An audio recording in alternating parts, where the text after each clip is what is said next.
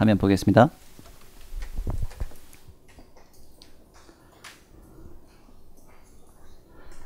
나는 내 이웃 아파트에서부터 나오는 시끄러운 음악 소리를 참을 수 없었겠죠.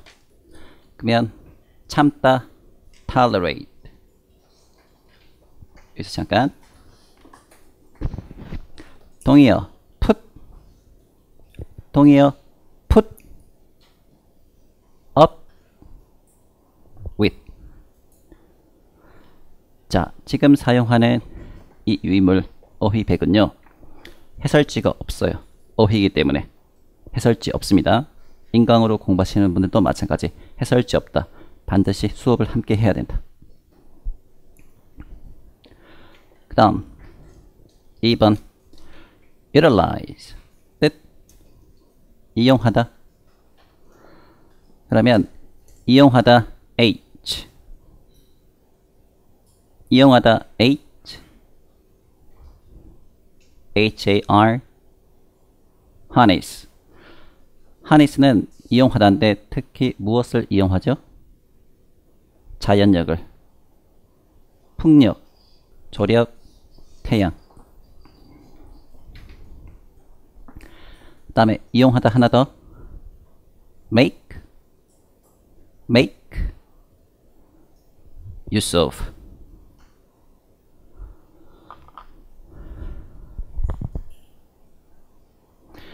오늘 밤 9시에 제가 뒤에 서서 한 60개, 70개 어휘가 나오거든요.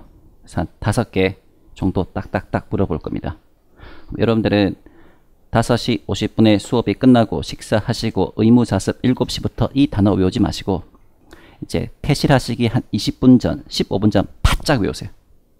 아니면 중간에 쉬는 시간 때 조금씩 봐두든가. 어. 의무자습 7시부터 9시까지 이거 계속 외우고 있으면 안 돼요. 음. 퇴실하시기 전에 집에 가기 전에 15분, 20분 남겨놓고 탁 집중적으로 외워주시면 되겠습니다. 자, perceive의 뜻은 뭐죠? 어, 감지하다, 인식하다죠. 그런데 제가 하고 싶은 건 이거 형용사 perceptive 어디서 본 적이 있을 텐데 이 단어 perceptive.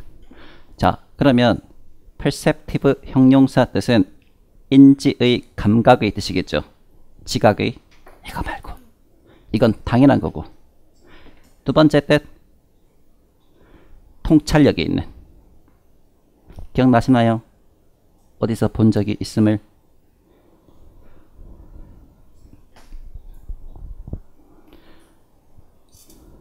perceptive 4번 protest 이렇게 보시면 됩니다. 항의, 항의하다 이렇게.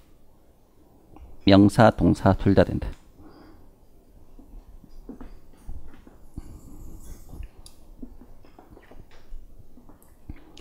(2번) 칠리 페퍼 고추 dish 접시 그리고 요리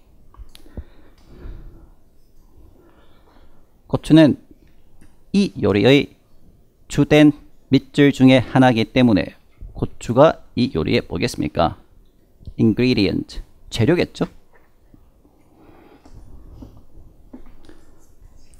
people who cannot eat spicy food, 매운 음식을 먹을 수 없는 사람들은 아마도 이 요리를 즐겨 하지 못할 것이다. recipe 이제 레시피는 한국말이 된 것 같습니다. 요리, 조리, 요리조리법. 요리, 요리법. 조리, 조리법. 레시피는 한국말이 된 것 같습니다. 3번.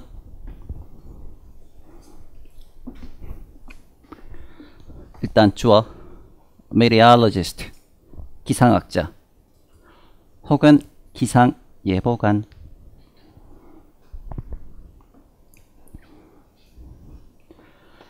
이 기상예보관은 내일 이 지역 전역에 걸쳐서 heavy snow, 폭설을 뭐 하겠습니까? 예보하겠죠. 그러면 예보하다 forecast. 그래서 commuters advised to drive with caution. 통근자들은 조심히 운전하도록 주의를 받습니다. On their way to work in the morning. 아침에 회사 가는 길에. 자, 2번. observe. 쉽지만 쉽지 않죠? 일단 observe가 나오면 여러분들 어떤 뜻이 먼저 생각납니까? 네. 목격, 관찰하다. 두 번째 뜻. 오케이. 법이나 규정의 준수. 지금부터 시작됩니다. 그러면 관찰이라는 명사는 뭐죠? observation. 그러면 준수라고 하는 명사는 뭐죠? observance.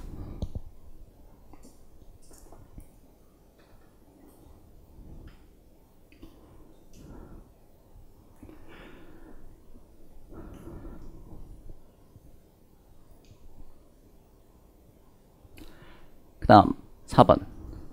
4번도 쉽지만 쉬운 단어가 아닙니다. illustrate 뜻 일반 뜻. 책에 사파를 넣었다. 책에 사파를 넣었다. 그림을 집어넣었다. 왜 그림을 집어넣었죠?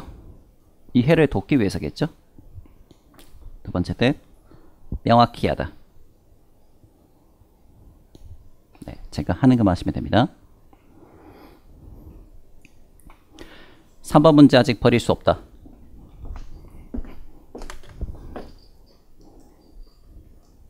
자, 금방 여러분들은 통근자를 보았습니다. 그러면 커뮤니티의 뜻 통근하다. 그러면 통근은 뭐죠? Commutation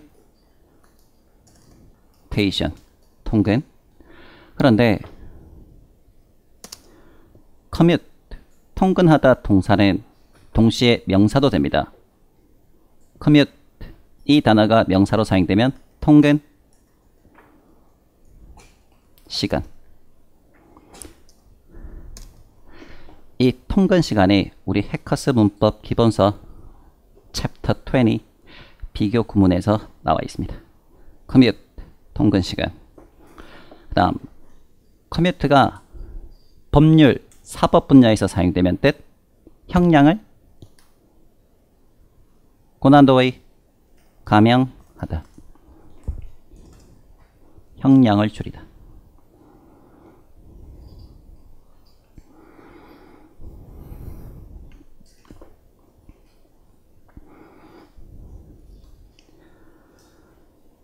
다음 heavy snow 폭설이죠 폭설 한 단어 힌트 starcraft starcraft 그렇죠 blizzard blizzard 폭설 그러면 폭우는 뭐죠? 일단 쉽게 어, heavy rain. 근데 이 단어도 한 단어가 있다. T. torrentials 해도 되고요. 아니면 torrential rain. 폭우. torrential rain으로 일단 가죠.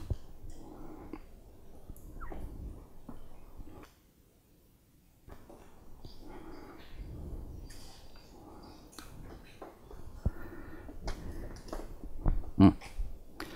Heavy rain, torrential rain.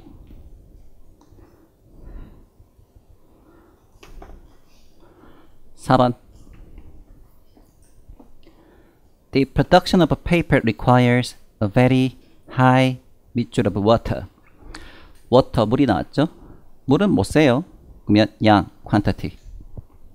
내용도 좋네요.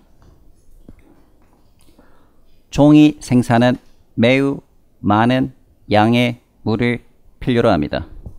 어느 정도로? More than 3 gallons needed to produce a single sheet of paper.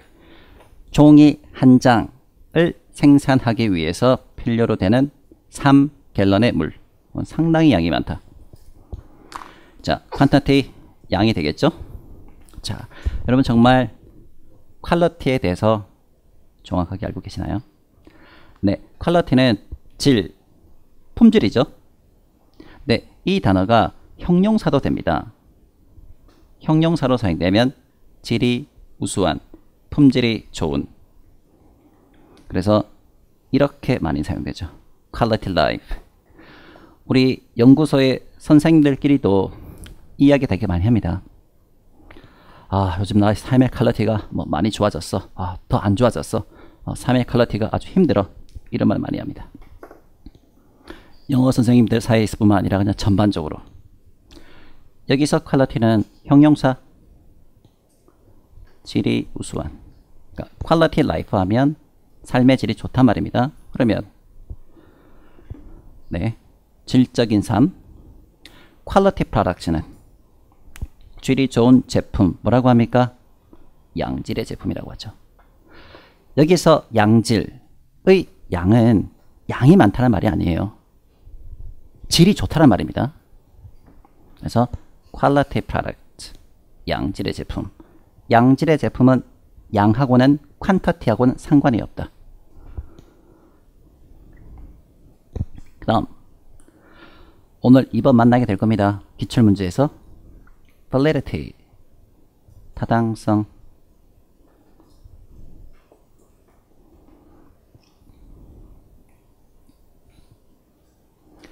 4번 priority 우선순위, 우선사항 그러면 이 단어의 동사는 그렇죠. prioritize 우선적으로 처리하다 prioritize 목적어를 우선적으로 처리하다.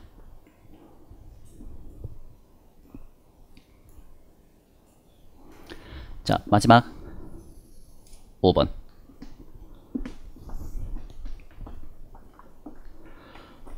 일단 여기서 atmosphere는 분위기겠죠? gathering spot. 만남의 장소. 몇 형식? 5형식 주어 5형식 동사 it 카페죠? 목적어 그 다음에 만남의 장소 이 카페에 밑줄하는 분위기는 이 카페를 인기 있는 만남의 장소로 만듭니다. 자, 왜요? 이 카페의 분위기가 어떠하여서? 1번, 얼베인, 도시 아닙니다. 세련된.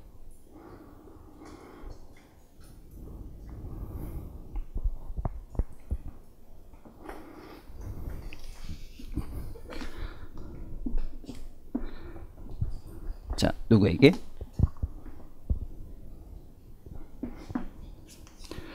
이 지역에서 근무하는 젊은 프로페셔널 중 다수에게 인기 있는 만남의 장소로 만듭니다. 음.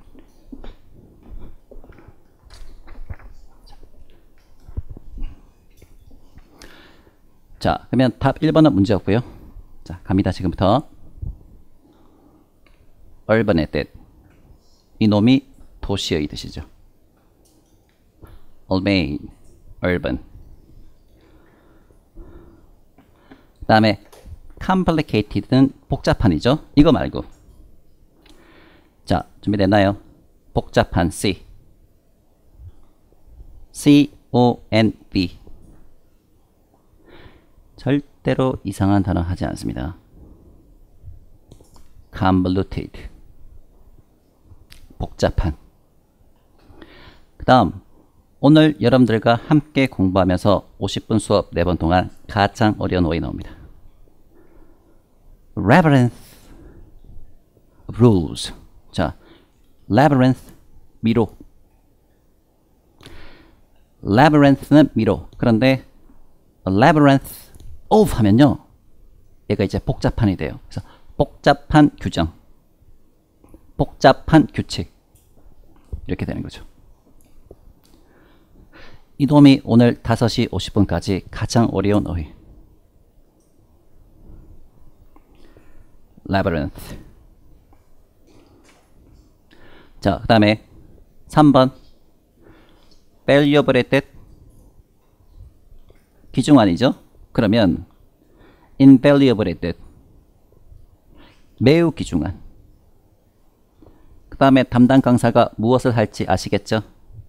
valueless 뜻 가치가 없는 그 다음 priceless 이건 가치가 있다라는 겁니까? 가치가 없다라는 겁니까? 단순히 있는 게 아니라 매우 가치가 있는 값을 매길 수 없을 정도로 헷갈립니다.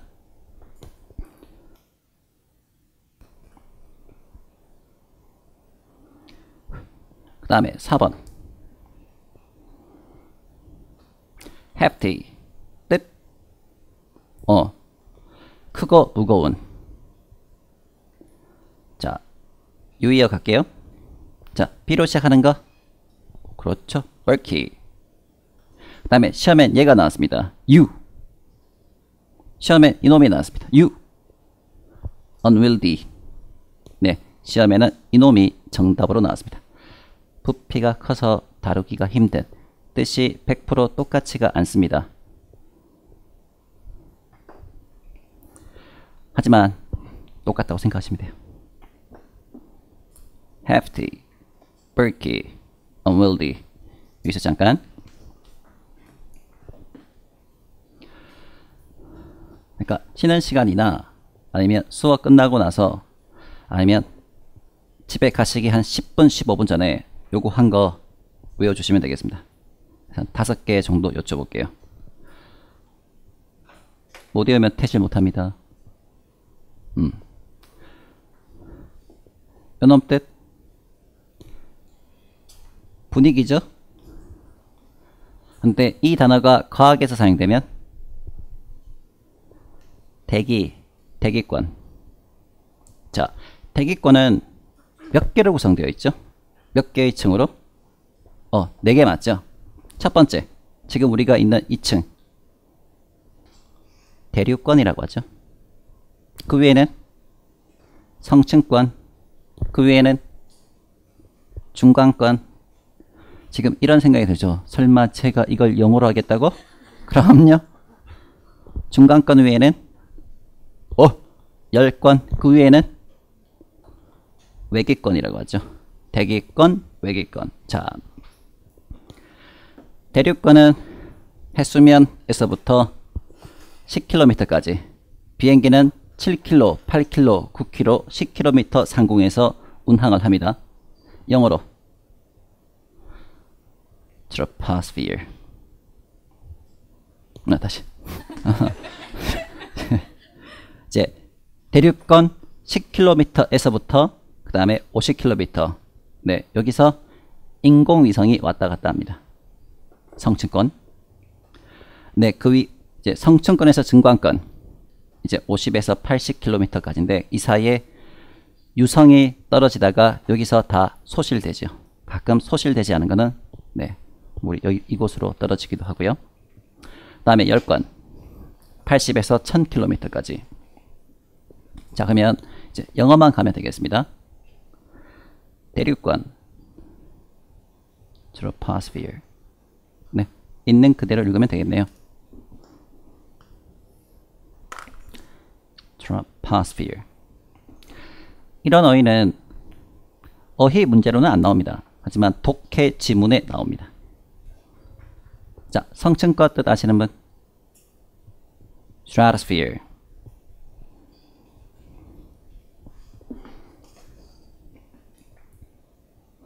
그리고 성층권 해가지고 뜻 하나만 더 써주세요. 엘리트 계층, 특권층, 특권층 써주시면 되겠습니다. 그 뜻이 있습니다.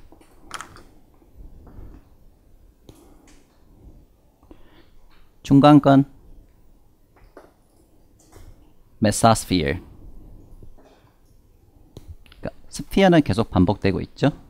트로파, 트라로, 메서. 열권. 그 아이돌 이름이 들어가는데 엑사스피 아 죄송해요. 아, 네 헷갈려 제가. 아, 자 열건 그렇지 열이죠. 떨모. 네, 떨모가 열이거든요. 그래서 thermosphere. 열권. 네, 여기까지가 대기권. 이제 그 밖이 외기권. 이게 바로 exosphere.